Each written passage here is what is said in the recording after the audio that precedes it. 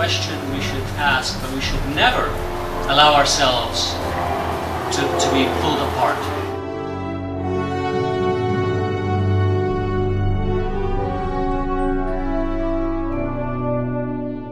We're all Americans. We need to stand united. The enemy is willing and focused to do everything. That even includes to die. Here's the thing with our nation. To reach across, to shake hands. United we stand, divided we fall.